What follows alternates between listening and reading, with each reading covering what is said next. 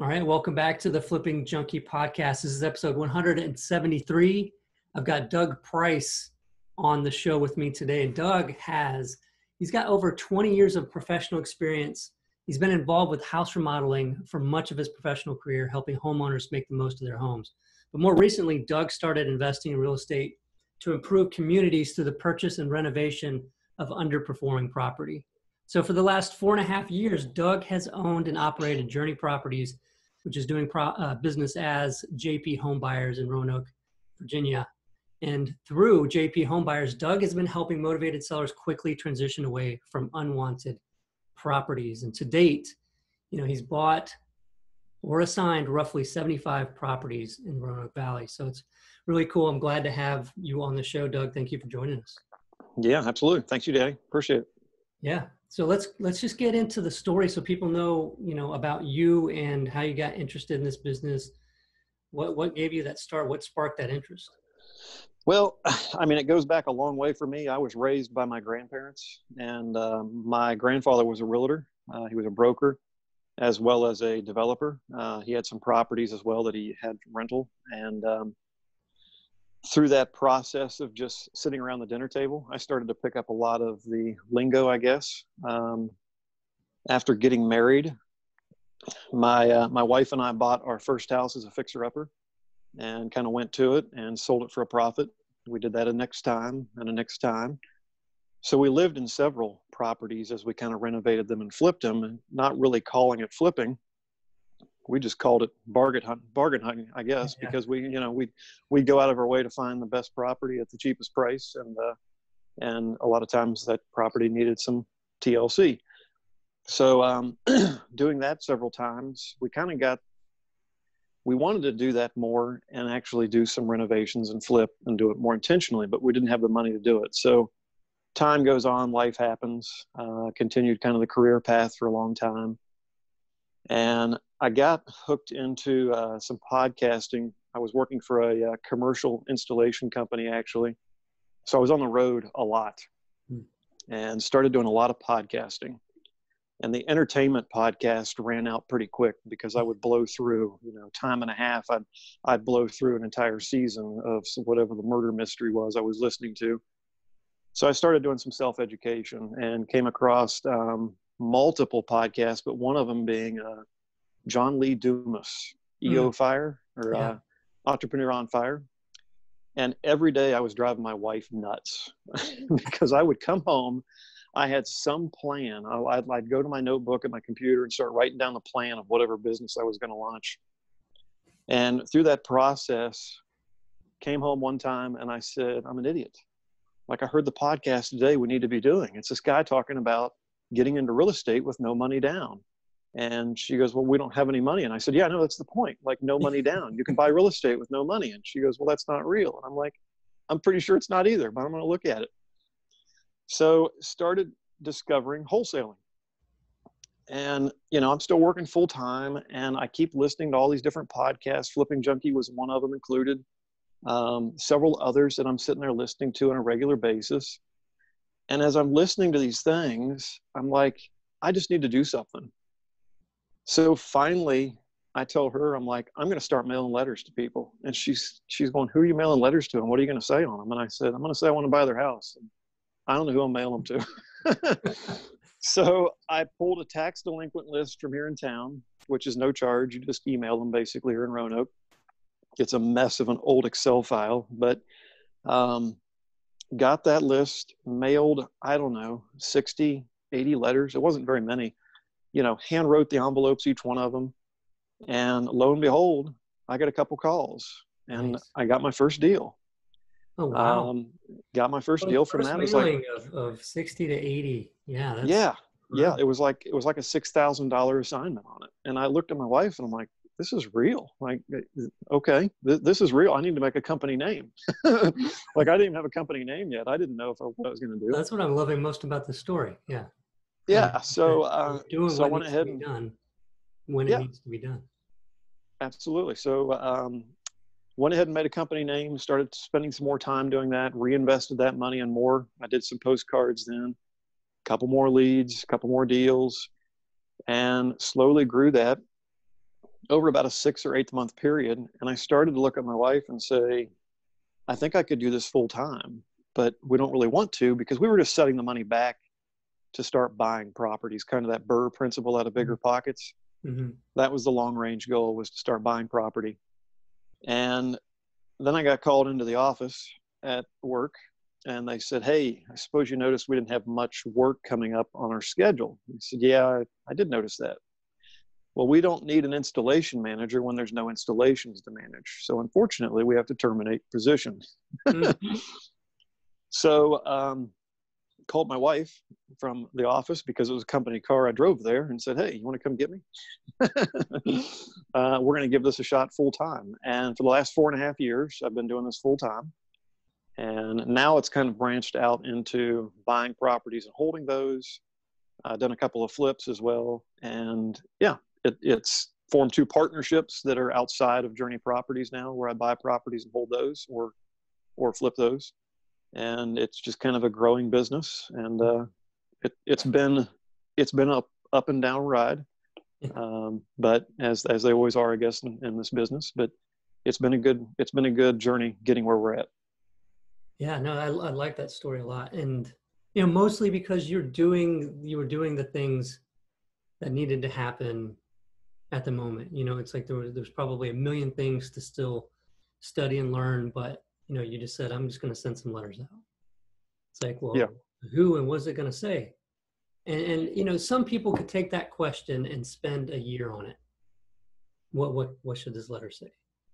Yeah. You know, well, it basically just needs to say that you want to buy their house in so many words, right?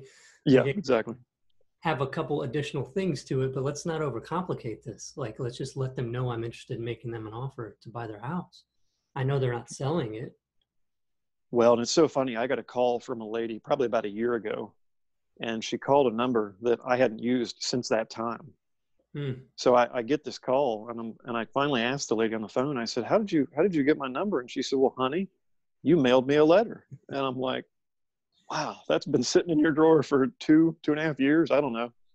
Uh, it ended up not being anything, but it was just funny that something like that, when you send out mail like that, you never know who's going to pick that letter up and when it's going to be. That thing can sit there for a long time. But you know, you kept you kept an open mind about it too, right? Because in hearing this, like already, my mind is telling me different things that you know I would think, and other you know people listening probably think when they hear about these kinds of things is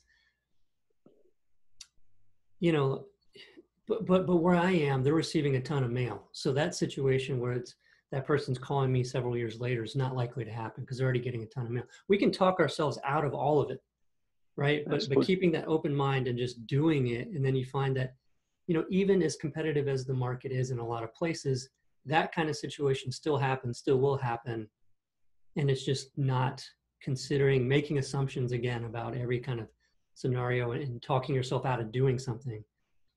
Well, it's so easy to talk yourself out of action hmm. because it's so easy to sit and learn. It, it's easy to listen to a podcast. It's easy to order a mentoring program. I, I sat down with a gentleman. Um, I don't know. It's probably been about two years ago now.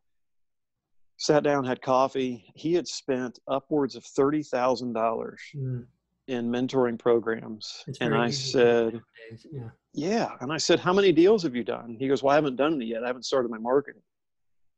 And I looked at him and I'm like, I've been doing this for two, at that point, I've been about two, two and a half years full time, somewhere in that range. And I said, I've never paid a dime to anybody for anything. All I've done is podcasting. All I've done is read books. All I've done is go on YouTube and take a lot of stumbles as I as I maneuvered through the dark. Sometimes it felt like, but I put action behind the stuff I'd learned, and that's the hard part, right? Is taking that step to do the action, and so many people miss that. Yeah, I know that's that's such a huge huge point, and you know, some of my my non real estate friends, you know, I've had these conversations recently with a, a lot of uh, you know th- this this idea about how people learn right? And so i think you know mostly we're brought up in school as passive learning. We sit there and we're told all these things. Yep. well that that doesn't you know unless there's an interest you know there, there's not really much that's going to get absorbed that way. And, and even with the interest even with you know trying to study these things you, you only pick up so much because it's not really you're not active you're not, not including everything every part of your being in this thing. And when you take action you do because you're you're putting yourself out there right? You're you're yeah.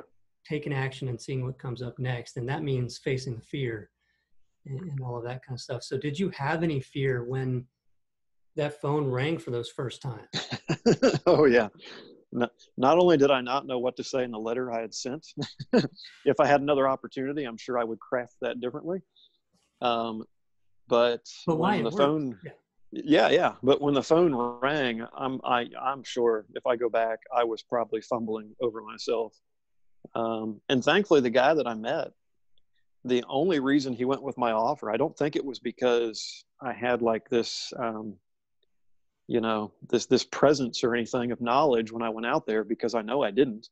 Mm-hmm.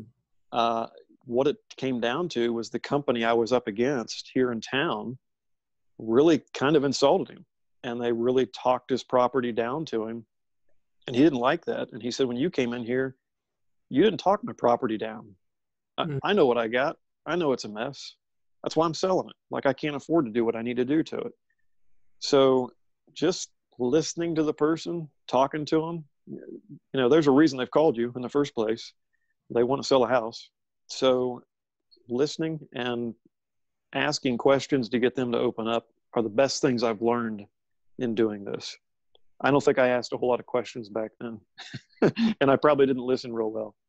But uh, but I guess I didn't say the wrong thing to him. but, but I mean, there's there's gold right there in what you said too. And when somebody felt insulted and i can i can imagine you know what the other company probably did was just go in there and using tactics to say it's going to need this it's going to need that. Oh this is oh this is a mess. Oh this is horrible. Oh this is going to cost a fortune. And you know i think a lot of people just know that that i know what you're doing right? You're, you're tearing this up so you can lowball me. So the whole time the person's anticipating this like this insulting offer. Whereas if you, you know, like what you did was was had a little bit more tact and and just you know walked around and looked at it and took all that in, but didn't need to try to manipulate the person by making all these statements. I think there's a fine balance in all of that that people need to find what fits their own personality because it's yeah. you know I, I couldn't do that stuff either. I couldn't go in and, and and act like that. That's just not me. It doesn't feel right. Right. Well, like I say, people know generally when people call somebody like us, they know what they have. They know they're in over their head. There's a reason they haven't paid their taxes. There's a reason they're behind on repairs. There's a reason they haven't had a renter in the house for the last year. Whatever whatever it is, there's a reason. So they they know they're up against the wall. Yeah, I want to also go back into your story too because I love that you guys started you and your wife started by buying, you know, you know, bargain hunting and getting the deals you know that way and just looking yeah. at it i just want a house that i can put some equity in like put sweat equity into and you know do the fix up and all that kind of stuff um, i actually did that mine was my first deal as well i bought a hud home to live in hmm. that needed a ton of work and i think it was like a 40k profit in, in three years which was magnificent um, you know, and then being able to live there too, and and all that kind of stuff. So, were, were there anything anything special about how you went about that, or was were you just looking for houses that needed, you know, some repair and and? Uh... the worse it looked in the pictures, the more I was interested in it. Yeah. uh, I can't say the same for my wife, but um, I think what we did, um, honestly, we just saw she was really good at seeing the potential of a house um, her decorating skills are pretty uh, sharp. So I can build the wall. She just makes sure I get the right thing on the wall once it's mm-hmm. built, right? So we made a good team whenever we did that. And um, I remember the first house we bought, I kind of just tore into it. And, uh, you know, we're, we're 22, 23 at the time and uh, tore into it. And she walks into the room after I had been tearing off paneling and everything and whoever had hung the paneling had decided to find the studs by using a hammer to just break out the wall. That'll work. Yeah, yeah, it worked quite nicely because uh, they did. They found the studs. Um, but in the process of that, she's looking at me and she's like, "What do we do now?" And I said, "Well, I guess we'll put it back together." And she just starts crying. and I said, "Why don't you why don't you go back to the apartment because we still had the apartment at the time that we were living in." And I said, "Why don't you go back there and I'll just kind of clean this up and we'll go from there." so we got in, our, in over our head out of the gate, but we uh, we came out all right. So that was a fun experience, and kind of from there we did a few more. But you learned, right? I mean, you learned yeah. things from that. I mean, my first one, I learned that I didn't want to do the repairs. Uh, yeah. That was just not my thing. It's nice as a hobby, but it's not nice as a career path. Yeah, and I think one of the moments where that really struck me to the core of like I absolutely do not. I think was like hanging a light fixture on on the wall that going up the stairs. You know, one of those things where your mind mentally you're like, okay, like 15 minutes, right? Yeah. 15 minutes to do this. I mean, I already got the old one off. All I got to do is hook this up, mount it to the box, you know, and it's good to go. Well, the stupid nuts and the screws and stuff wouldn't fit right. And so there I am, like, I don't know, I think I ended up with a saw against the wall trying to cut down this this bolt and like, you know, have it dragging my knuckles across the wall and it's yep. just like one of those like stubborn push through instead of thinking it through what, what I should do here moments where. I was like, this is ridiculous. What am I doing? you know, just like there, there's no point in me learning how to do all of this stuff. But anyway, the bloody knuckles kind of helped to make that decision for me. Yes, it does. Yeah, you had told me, uh, you know, before the call a little bit earlier today, you you had said that you guys had you had done some recently some really good deals, and you want to share a couple of those. Yeah, so I've had a couple this year. Um, let's see. I'll share the I'll share the one that um, most likely resonates with people um, because follow up is um, it's monotonous and you and you just never really know if it's going to lead to anything. Um, I think I'd mentioned to you before, maybe through the Facebook group or something, that I've tried several different CRMs over the years. Uh, part of the reason I guess I'm on this call is because I landed with a FlipPilot with you all, but uh, but uh, and it's great stuff. But um, but in that process of changing CRMs, every time you go kind of that through that process of clearing out, you know, the cobwebs. I, I was clearing out the cobwebs. I was moving stuff over to a new CRM, and I came across one lead, and I'm sitting there and I'm looking at all the times I'd hit this lady, and I'm like, I, I, I don't I don't need to call her again because every time she's put me off. So I trashed it. Well, like two days later, before that version of the other CRM expired, I just I don't know what it was, God thing, I don't know. I'm like, I need to I need to go back and get her number real quick before she's gone. So I go back in, I log in, I get I get her number out, and I call her the last time, right? This is it. I'm not gonna do it again. I call her and the whole story was her niece had moved into this condo temporarily, temporarily, four years earlier when she had moved out to go to Utah. So here, four years later, niece is still living there, and she has to get her out before she'll show me the property. That's that's been the call every time for the. Mm-hmm. I mean, I've been following up with this lady for probably eight months.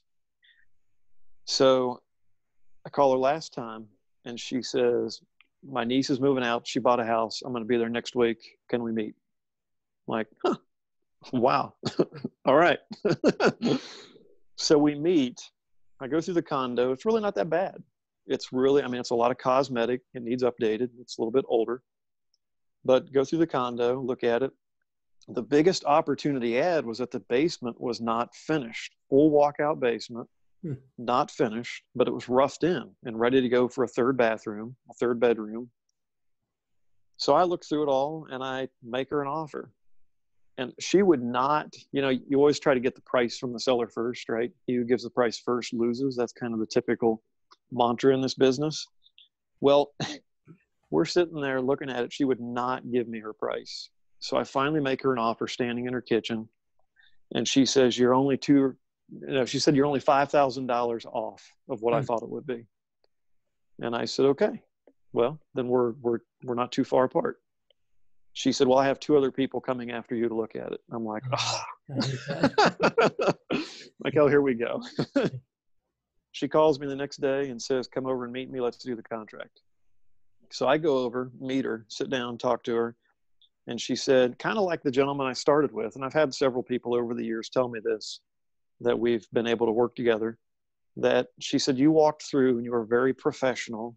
You didn't tell me the property was in bad condition. And she said, One gentleman that came out actually gave me a better price than you, hmm. but he told me he was doing me a favor because the property was in such bad condition. And she said, I just looked at him and said, You can go ahead and leave. wow, yeah, it's so amazing. Yeah. So, um, I mean, there's probably a lot of gold in there, but I think the biggest takeaway for me was that just keep those leads. Once you have somebody's number, just keep hitting them because you never know when they're going to come back around. And uh, I ended up, I, I put, I put thirteen thousand dollars on that when I marketed it to my buyers list, right? So that's a pretty good assignment. I, I usually average about eight. Um, I'd, I'd, love to get that a little higher, of course, but I usually hit about eight. So I sent it out to my buyers, and I kind of have this rule whenever I have multiple bids. Um, and I knew, you know, you know how you get those properties sometimes, Danny, where you just know it's like, oh, I got something, hmm. because. I had buyers lighting me up. And the first thought had, was it, oh crap, I asked too little. Well, so yeah, so this is what I do in situations like that. I always tell people if I see that happen, I say I'm expecting multiple offers, right? So I set the stage before I ever meet with a buyer. Secondly, then what I do is the the buyer that's first one to the table. So when he gives me an offer, if it's 25 bucks, that's an offer. I don't care, whatever it is.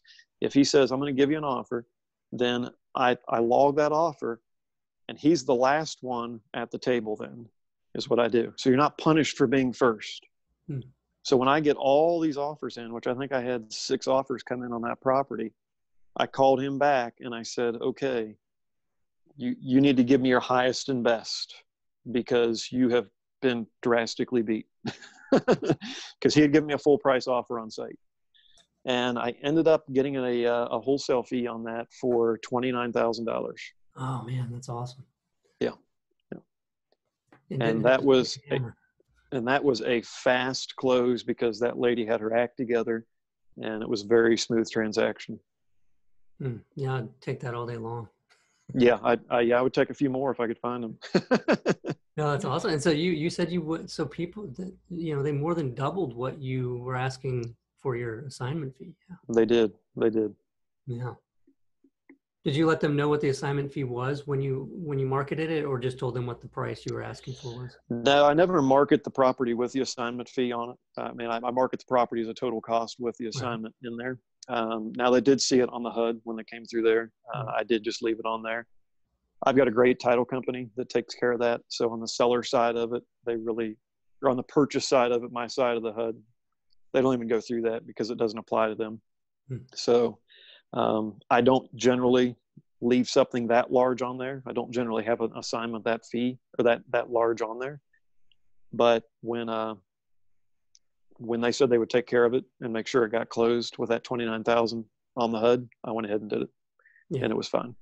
Oh, did that make sense? yeah, yeah, yeah, beautiful deal. And so, you know, when you said there's probably a lot of gold in there in, in that story as far as how things happened, and just one statement from a competitor you know, is all it takes to, to ruin it for them, even if they offered more.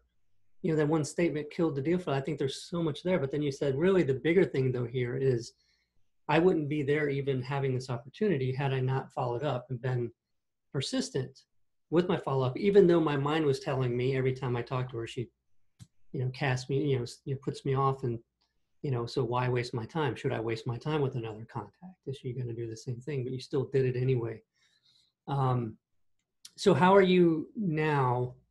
You're going to like the way I'm doing this here. So how, how are you? How are you now making sure that you're doing this follow up with your your leads that you're getting? Yeah, I do like the way you did that. Very subtle. Um, uh, so just recently moved over to FlipPilot, as you know, and I've been following you guys on Facebook for um, probably the better part of your beta group. I don't even know how I managed it, but I, I got into your alpha group at some point and I wasn't even in your system. So I kind of snuck in. I don't know how I did that. I think um, I probably just let you in because I didn't take the time to check and see if you were a customer or not. It might have been. It might have been. so uh, at the time when I logged in, I didn't realize that was the case. But after being in the group a short time, I was like, oh, I don't think I'm supposed to be here, but I'm going to stay. um, so I kind of saw it grow out of the alpha into the beta. And then once it got to a certain point that the releases I saw coming through in the comments, you know, were, were kind of coming around to, hey, this is really good stuff. Um, I went ahead and joined in with the group. I guess now I've been in there probably two months, close to it. And I love kind of the, the Trello feel to it, I guess, uh, if you're familiar with that, where you kind of have that. Uh, is that right? Trello? Tre- Trello. Mm-hmm. Trello, yeah. So um, I love that feel where you kind of create that whiteboard that moves along uh, the, the, the pipeline. And the great thing I've seen about FlipPilot so far for what I do as a wholesaler as well as a, a property owner is you can kind of customize that to be what you want it to be. You're not locked in so many of the like Podio platforms and other things that are out there, they're very regimented and locked in. And I've enjoyed being able to set it up the way I want to see it roll. And then the automated follow ups have been a great addition too, because especially with online marketing, that's primarily what I do is online marketing. You get a lot of people that at two o'clock in the morning, for whatever reason, fill out a form but never call you back. I can go in with that automated no contact made basically is what I've created as a, a just a follow up that just automates that over and over again. Mm-hmm. So once they finally pick up the phone and call or they text back, then it gets real. But these people that just kind of fill out those forms, I'm not spending a lot of time calling people um, like you do with direct mail and things like that. Yeah. So it, it's been a good addition. It's been a very good addition. Nice. How how often you know how long is your sequence for something like that for the no contact? I think I've got the no contact set out at right around three months, I believe. Oh, wow. Yeah. and I forget how many I forget how many hits are on that, but um, I got an email too in there, some text blast to go out with it too. So yeah, I try I try to hit all three elements there because uh, I do call them a couple times in that time frame, but yeah. not much. Yeah. Well, that's what I love about the business, right? Is every bit of it's worth it. I mean, mainly, especially because you're not having to physically do it for all the touches, all the follow up, yeah. but but more so because, you know, in this business, like you just said, what was it? Twenty? What was it? Twenty nine thousand. Mm-hmm. You don't know ever yep. which one of those leads or potential leads even is the next twenty nine thousand dollar deal. Right that's kind of like the thing I always kind of would think about. Is like whenever I started feeling lazy about returning a call or something, saying oh, I'll do it tomorrow. It's like, oh, wait a minute though. If that is that hot deal or that that one of those one in ten motivated sellers that says I'm done, I'm done with this. Get over here, make me an offer. I don't care what it is. You know, you just you never right. know when is that one. Well, and I will say too, along with that follow up sequence that I do now, I, have been getting in the habit in the last few months, six months. I make an offer to everybody, even if I've never talked to them. If I have your number or your email address, you're going to get an offer. Wow. And a lot of people, a lot of people overcomplicate that process. I feel like, and I'm guilty of that myself over the years. Um, what I do now is I have a form in my Google Docs. I go in and enter 70% of the Zillow price and I put their name and their address. That generates a letter. They get that in the form of PDF in their inbox, or I've even mailed them to. And every so often, you'll get somebody that calls you back and says, Keep calling me.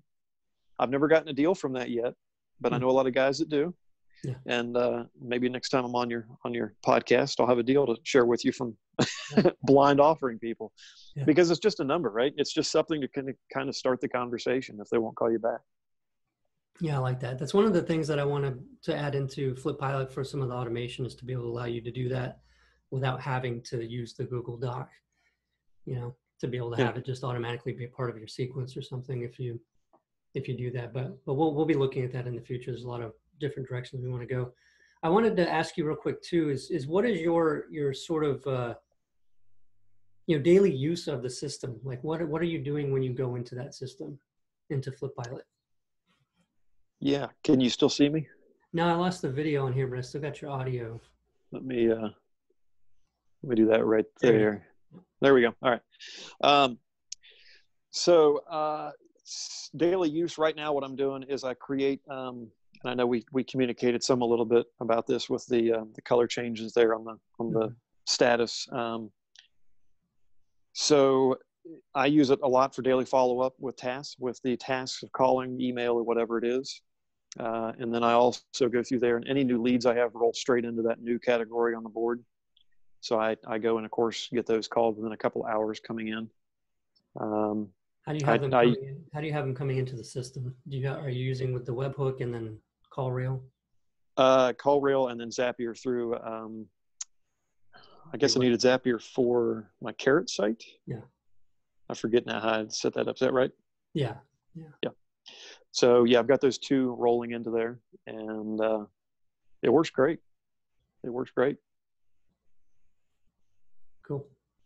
And then you go in daily and do. You said you're you're using like the the schedule contact. So you you have it your your workflow set up to where the new ones come in, and then you move them into you need to make contact with them. Is that right?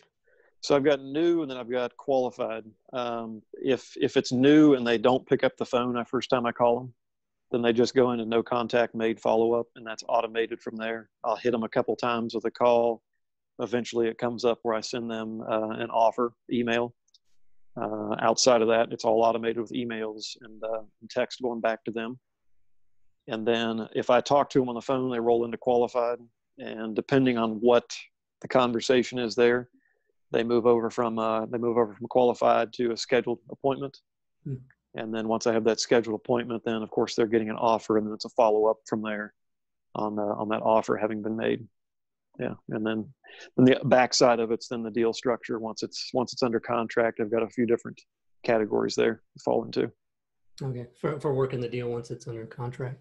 Yep, yep. Are you are you using the checklists? Yes, Yes, uh, on several of the categories, and I, I, if I was, uh, if it wasn't for COVID nineteen, or whatever we're calling it today, uh, and the uh, and the kids being home from school, I'd be at the computer and I could show you everything or pull it up and uh, yeah. and go through it. But uh, with all that going on, I had to share the computer with the kids for uh, their classroom today. So I don't remember all of the different things I've put in there, but yeah, I do have the checklist used in there to kind of keep everything moving through that that pipeline yeah to make sure you're you're doing all the things at each step that you, you have yeah use using the checklist before i move it through the pipeline probably a better way to put it okay yep. awesome. Well really appreciate you and uh, the feedback that you've given in that group that you got into that you we weren't supposed to be in but, but, it all it all worked out for the best and maybe you're supposed to be there. But um, yeah you've given some some feedback and some great ideas for improvement and i really appreciate that and we've we've done uh, you know a lot of those we've we've tried to add in there recently right before you have yeah. That, that's been the great thing i've seen is you're very responsive. I mean very responsive not just to me but everybody in the group. Mm-hmm. so uh, i like that. I've been with a couple different companies crm wise that are not that responsive. They kind of have their systems built out and that's the way it is. So adapt. And you all are not that way from what i've seen thus far.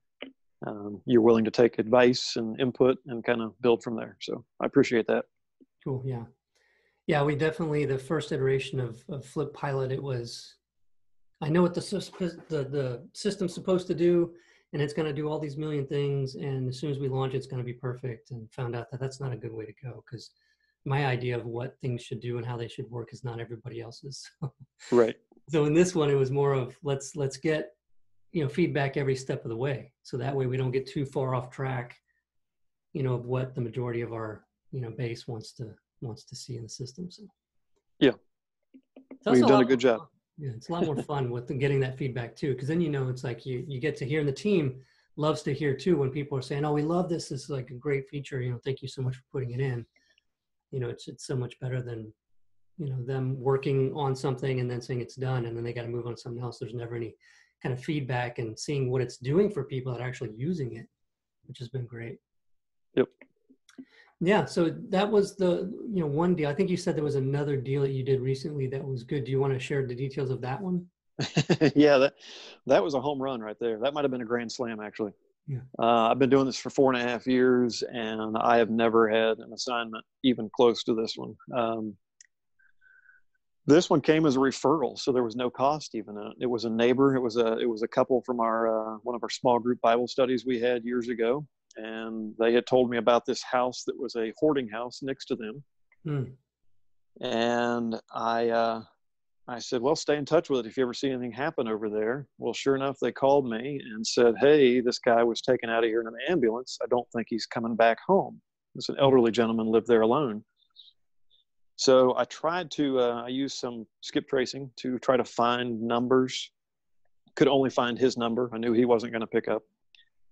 So um, drove over there a few days later and just drove by, and lo and behold, there's a gentleman there dealing with getting some of the abandoned cars out from in the house, out from in the front of the house. Mm-hmm. Well, in the process of that, we kind of started talking, and he gave me the number of one of the sons so I called him right there from the driveway and I said, Hey, I'm interested in your house. I didn't know what you were going to do with it. And he said, Oh, we got to get it cleaned out. It's hoarded to the ceiling through the whole house. And I mean, this is a big house, like 3,300 square feet. Oh, wow. And I couldn't necessarily see inside of it that well, but I could see the front door had been cut off the house to get the gentleman out by the EMTs. So I knew it was pretty bad. But in the process of talking to him, I said, Well, when you're ready to do something, please let me know. So he said, Well, I got to get the POA and all that set up. So we talked for about the next three weeks. I called him for, you know, once a week, every week. He told me, Call him back. We don't have the P. I think the fourth week I called him. He said, We've got it. When can we meet? And I said, Let's meet out there tomorrow. He said, You don't want to go in the house. So we go out to the house, and Danny, I've, I've been in some hoarded houses, but this one, uh, actually, I put a video up on my Facebook page over at uh, JP Home Buyers if somebody wants to see it. It was hoarded virtually to the ceiling everywhere. Wow. It was it was tunnels getting through the house. Wow. And uh, the smell in the house, I mean, you you just can't even imagine. So we go through it. We come out in the driveway. I said, "What do you want for the house?" He said, "We got to get it cleaned out first. I know nobody's going to buy it in this way." And I said, "Well, well how are you going to clean it out?" He said, "My sister wants to go through some things. My other brother here wants to get a couple things out of there." And I said, "How are you going to find?" Because it was little stuff they wanted. I said, "How are you going to find anything in there? I mean, how, how long is it going to take you?" And he said, "More time than I care to think about." And I said, "Well, what if you sold it right now? What would you want for it?" and he said my bottom line is 80 well i had figured about 105 offering price before i went out and after seeing it i knew it would need to be a little bit less but not that much less mm-hmm. so i said if we do it today would 85 work for you so i went up because i'm like i don't want him calling my competitors i don't want anybody else coming out to this house and uh, he said, Yeah, that'll work. He said, Let me talk to my sister. The next day, he calls me back and he wants a hundred thousand. Oh, I should say his sister wants a hundred thousand. Right, right, right. So we talked and talked and talked on the phone, and we ended up at ninety-five. Uh, locked it up at front ninety-five thousand, and um, because of the hoarding situation on this one, I wasn't going to send it out to my buyers list. I, there's no way I could have 50 or 30 or even 10 people. I, I didn't want to go back in the house again. So I called three people that I do business with on a regular basis. Um, one of them immediately came out and looked at it. Uh, the other came out and met me and looked at it. The other called me said, never mind on the way there. So, um, because I told him how bad it was and sent him a video I'd filmed inside of it.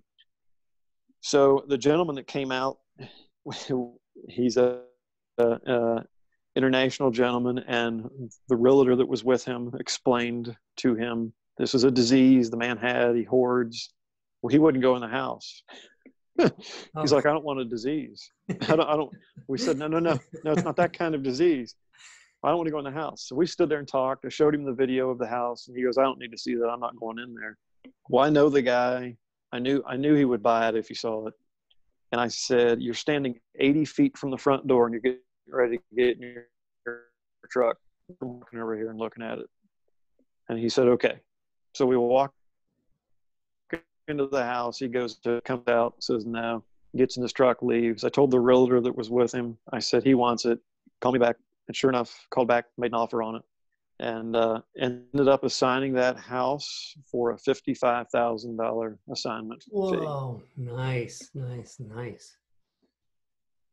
Yeah. So absolutely incredible. So uh, I didn't even I, have I've heard about deals like that on podcasts, but I didn't know that was actually a real thing. So yeah, yeah. I mean, you know, people would kill for that even after a major rehab. You know, to to be able to have that happen without he probably will not make as much when he mm. actually flips it. Right. Yeah. I, I probably made more than he will. Yeah. Yeah, I've done that several times too. It's just amazing. Not, not that I don't think that I've ever got 55. I think 50 was the most. Man, but that, yeah. Well, it, like, it, well, so you, you still got me because I only netted 49, 625 only. Only, yeah. Oh, Only, yeah. Poor Doug. Yeah, I, I know it was rough. I was happy to pay a commission to the realtor. Happy. yeah. No, that's it's yeah, that's yeah, great deal. And and just you know, the, I love walking through them and the different scenarios like that. You know, the situations of what happened, seeing a little bit of the negotiation where where you have the the son, you know, telling you already what the number is, and then coming back with that always painful. I need to talk to my sister. Yeah. You know, yeah. and, and, and that kind of roller coaster ride's going to happen through a deal. And, uh, you know, keeping your cool because you could have immediately heard that and said, you know, gone up automatically right there, you know, trying to lock him up. But if he yeah. already feels like he's got to talk to his sister, even if you offered him 120, he's still going to say he's going to talk to his sister.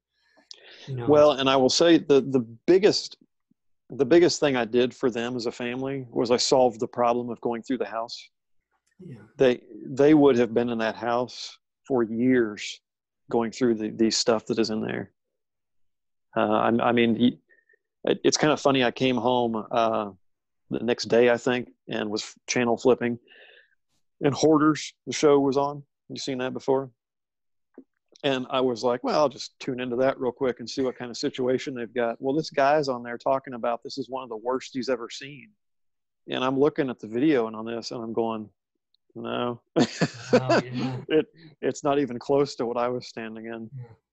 So uh, it it was bad. It was really bad.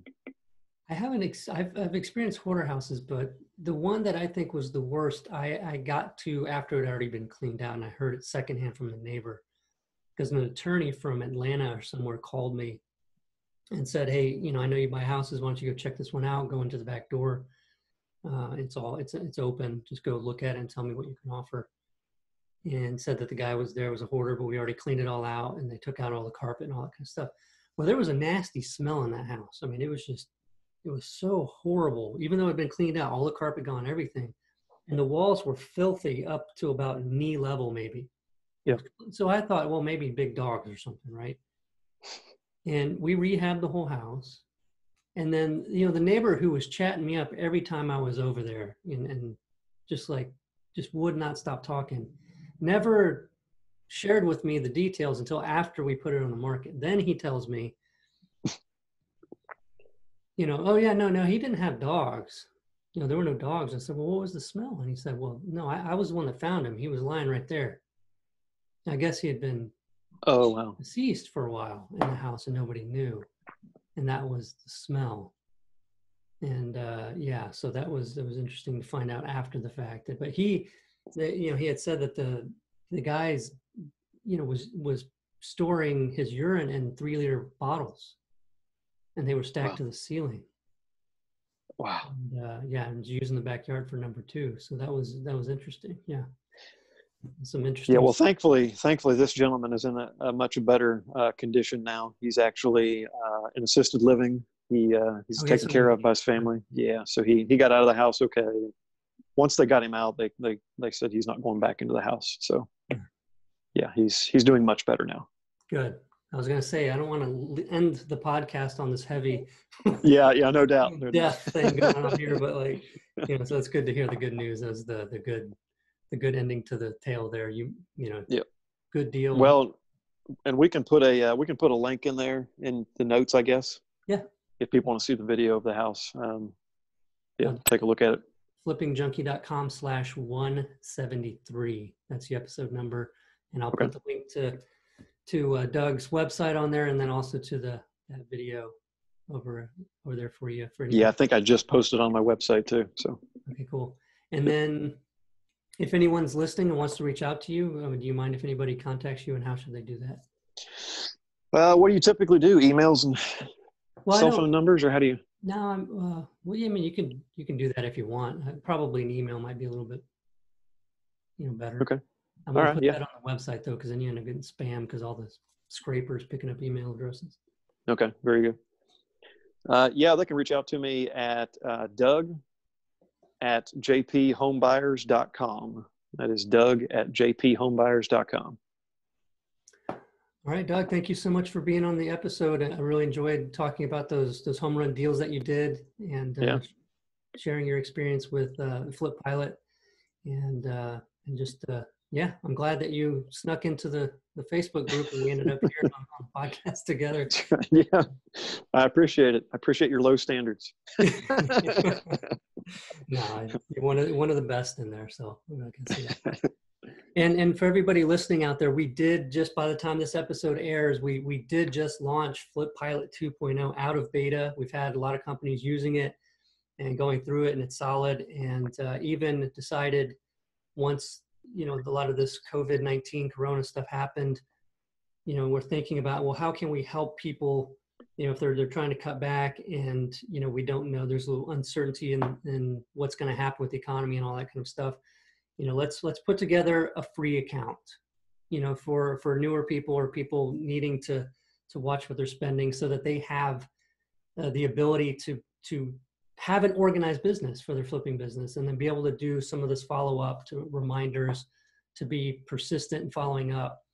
Because i hear a lot of new people saying well i don't need a system yet because i'm not generating any deals. I'm not getting any deals. I was like well that's kind of why you need the system. You know you, you put you, you work on filling it which is what doug was talking about. Like he set out and he said i'm going to send some letters out. He looked at getting these leads in and if you have a system put them into, you can put them into it and have these reminders happen so that you stay persistent consistent following up and getting the deals. And so we've set up that free account. If that's for you, if you'd like to get more involved in it, we've got the paid account where you can set up your integrations with CallRail, hook up your website, Gmail, Google Calendar, Drive, all that stuff into it and increase the power. So if you're interested, check it out, flippilot.com. Uh, really appreciate uh, you listening to the podcast. And uh, thanks again, Doug, for joining us. Absolutely. Thank you, Danny. Appreciate it. Yep. Have a good one, Doug. You too. All right.